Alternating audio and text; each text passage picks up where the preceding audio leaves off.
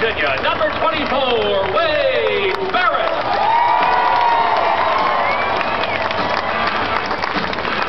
Starting at goal.